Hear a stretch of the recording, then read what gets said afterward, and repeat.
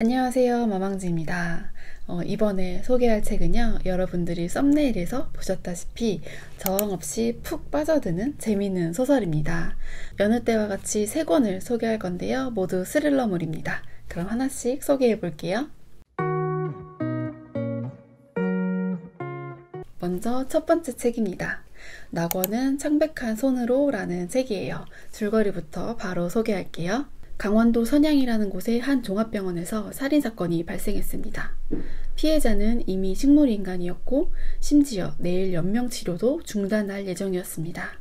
그런데 사건 발생일인 오늘 자상을 입은 채 죽어 있었습니다. 의문 많은 이 사건을 조사하기 위해 경찰, 연우와 상혁이 현장으로 출동했습니다. 그 시각 한편 대형 로펌의 변호사인 차도지는 의문의 남성에게서 쪽지를 하나 받았습니다. 그 내용은 바로 지금 선양에서 체포된 용의자를 변호하고 만일 이것을 어길 경우 15년 전의 사건을 유포하겠다는 것이었습니다. 그렇게 차도진도 선양으로 출발하게 됩니다. 대체 그곳엔 지금 무슨 일이 벌어진 것이며 15년 전에는 또 어떤 일이 있었던 걸까요? 네, 먼저 이 책 낙원은 창백한 손으로 일단 재밌습니다. 재밌고요. 어, 이 책은 이제 챕터가 인물의 시점별로 나뉘어 있어요. 어, 사실 저는 이 책의 그 사건이 처음에는 단순한 살인사건인 줄 알았는데, 근데 15년 전에 사건이 드러나게 되면서 현재와 15년 전에 어, 두 개의 큰 이야기 줄기가 흘러가게 됩니다. 그리고 이 소설에 저항 없이 빠져들 수밖에 없는 이유는요, 여기에 상당히 많은 등장인물이 나오거든요. 근데 그들의 관계가 촘촘하고, 그리고 계속해서 수상한 인물이 나와요. 그래서 독자는 계속 의심하고 검증하면서 바쁜 시간을 가지게 되고요. 그러다 보니까 몰입감이 너무 좋았습니다. 그리고 현재와 15년 전의 그 과거의 사건이 서로 이제 실마리가 조금씩 연결되기 때문에 어, 끝까지 정말 집중하면서 볼 수밖에 없었습니다. 그리고 이제 중반서부터는 음, 그 어떤 범인에 대한 윤곽이 조금씩 드러나거든요. 하지만 방심은 금물입니다. 스포가 될까봐 여기까지만 말할게요. 그리고 이 작품은 뭔가 영화나 드라마로 만들어져도 될 만큼 되게 인물도 다양하고 그에 따라서 갈등 관계도 다양하게 나타나고요. 그리고 또 장면도 되게 음, 구체적이고 묘사가 잘 되어서 정말 영화 같은 그런 장면들을 상상하면서 읽었고 지루하지 않게 볼 수 있었습니다. 속도감 있게 몰입감 좋은 책을 찾고 계시다면 이 책 낙원은 창백한 손으로 정말 추천해 드릴게요. 네, 그 다음 책으로는 대리운전입니다. 어, 이 책도 바로 줄거리 소개해 드릴게요. 공무원 시험을 준비하던 도윤이라는 인물이 있습니다. 그런데 학원비와 월세 등 생활비가 넉넉치 않은 형편이었죠. 그러던 어느 날 아는 형이 아르바이트 자리를 소개해 주는데 그건 바로 청각장애인 대리운전 회사였습니다. 기사들의 휴무 등 업무가 빌 때만 한 번씩 대타를 뛰어달라는 부탁이었습니다. 도윤은 청각장애인은 아니었기 때문에 거짓말을 하고 사기를 치는 것 같아서 찝찝했지만 짭짤한 수입 때문에 이 일을 지속하게 됩니다. 여느 때와 같이 청각장애인인 척 연기하면서 운전을 하고 있었는데 갑자기 트렁크에서 쿵 하는 소리가 나는 거예요. 아, 잘못 들었겠지. 라고 생각했으나 다시 한번 쿵쿵 게다가 살려달라는 목소리까지 들리기 시작합니다. 긴장한 도윤은 이 차를 목적지까지 빨리 갖다 놓고 무조건 이 상황에서 안전하게 빠져나가기로 결심합니다. 그런데 옆에 앉아 있던 차 주인이 갑자기 말을 건네는데요. 너 들리는구나? 하고 말이죠. 네, 이 책 대리운전은 안전가옥의 노크 시리즈 중 첫 번째 책인데요. 노크는 단독으로 소설 단행본을 출간해 본 적이 없는 창작자들을 대상으로 어, 원고를 모집하였고 또 그를 심사하여서 최종적으로 8명의 어, 신진 작가님들과 함께 어, 진행한 프로젝트 시리즈입니다. 그러니까 이 책은 이날의 작가님의 첫 번째 어, 소설 단행본 이겠고요. 또 이게 길이는 짧지만 그만큼 전개 속도가 빠르고 그래서 몰입감이 되게 좋았어요. 짜임새 있게 구성이 탄탄하다는 느낌을 받았고요. 어, 하지만 그 익숙한 약간의 그 스릴러 클리셰가 조금 보이기도 했습니다. 그래도 신선하고 분명한 몰입 포인트는 있어요.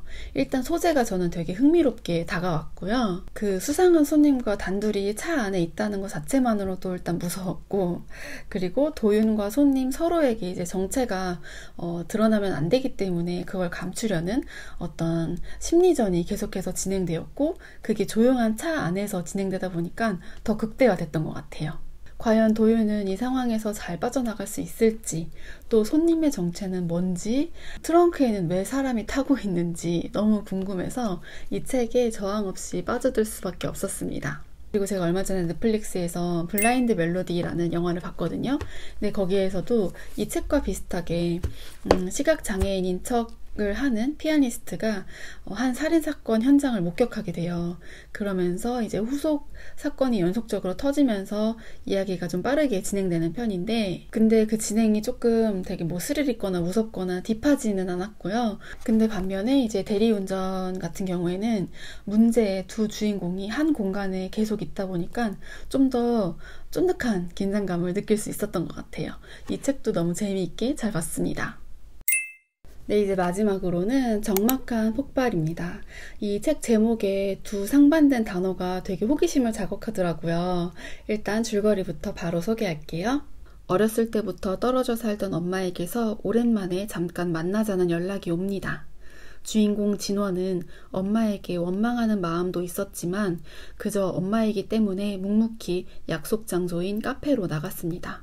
그런데 아니나 다를까 그녀가 돈 얘기를 꺼내기에 진원은 그 자리를 박차고 나와버렸습니다. 그런데 잠시 후 그 카페가 펑 하고 터져버렸습니다. 가스 폭발 사고였던 것이죠. 그렇게 엄마의 장례식을 치르던 중 어떤 학생과 마주치게 되는데 그 선호라는 학생이 진원에게 묘한 한마디를 건네는데요. 그 카페에서는 사실 LPG 가스를 사용하지 않는다고 말이에요. 그럼 그때 그 창고에서 터져버린 LPG 가스통은 도대체 어디에서 온 것일까요? 이게 단순한 사고가 아닌 사건이었던 것일까요? 그렇게 진원은 선호와 함께 그날의 폭발의 진실을 알아내기 위해 자체적으로 조사를 시작하게 됩니다. 먼저 이 책에서는 형사나 탐정 같은 사람이 아닌 아주 평범한 사람들이 사건을 파헤치게 되는데요. 그러다 보니까 정보의 한계도 있고, 그래서 직접 몸으로 부딪히기도 하고, 발품을 팔기도 하고, 뭐 인맥을 동원한다거나, 아무튼 우당탕탕 추리를 하게 됩니다. 독자도 이제 사건을 전체적으로는 볼 수가 없으니까 어, 이들을 따라갈 수밖에 없고 그 과정에서 이 두 사람한테 좀 더 쉽게 몰입하게 되는 것 같아요. 게다가 LPG 가스통뿐만 아니라 다른 좀 수상한 어떤 흔적들이 계속해서 발견이 되는데요. 이게 마치 까도 까도 계속 나오는 양파와 같은 그런 전개로 흘러가게 됩니다. 그리고 소설 속 소설이 등장하게 되는데 그것의 정체를 어, 상상하면서 읽는 재미도 있습니다. 그래서 뭐 이제 스포 때문에 여러 가지를 더 말할 수는 없지만 음, 이 책을 읽다 보면 어, 자기도 모르는 사이에 이미 저항 없이 빠져들어가 있다는 거를 어, 깨닫게 되실 거예요. 그리고 여기 나오는 등장인물 중 몇 명이 좀 어, 만화스럽다고 해야 되나? 좀 재미 포인트가 있는 인물들이다 보니까 앞선 두 작품보다는 상대적으로 조금 더 가볍게 읽을 수 있었던 것 같아요. 이 책도 너무 재미있게 잘 봤습니다. 네, 이렇게 저항 없이 빠져드는 몰입감 좋은 소설 3권을 소개해 봤는데요. 저는 뭔가 셋 다 좀 영화 같다는 느낌을 받았어요. 어, 장면을 상상하기 쉽게 잘 묘사하기도 했고, 각각의 사건의 소재도 좀 신선했던 것 같아요. 그리고 이제 두 번째에서 소개했던 요 대리운전 같은 경우에는 이미 영화화가 확정되었다고 하는데요. 빨리 제작되어서 잘 나왔으면 좋겠습니다. 탄탄한 스토리에 흥미로운 스릴러 소설을 찾고 계시다면 이렇게 세 권 적극적으로 추천해 드릴게요. 그럼 오늘 영상은 여기서 마치도록 하겠습니다. 오늘도 시청해 주셔서 정말 감사하고요. 영상이 좋으셨다면 좋아요와 구독 그리고 댓글도 남겨주시면 감사하겠습니다. 그럼 다음 영상에서 또 만나요. 안녕!